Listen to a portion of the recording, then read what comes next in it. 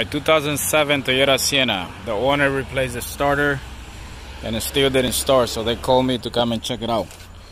So this is what I did. I took all this apart to get to the shifter cable. And next thing you know, I come to the shift link right there.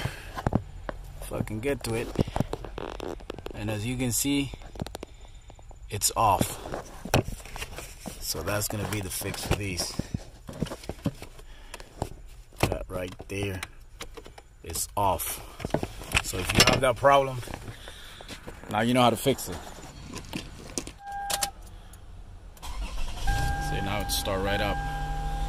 So when I came, I noticed it wasn't on park, the letter was on R.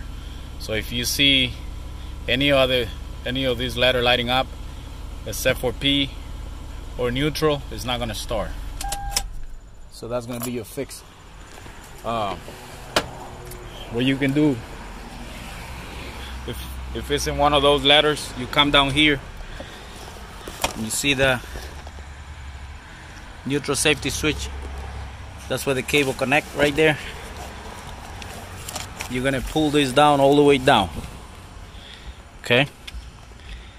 This you're gonna push it all the way down. That way you can get it back on parking.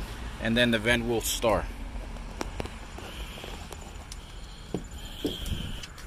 All right.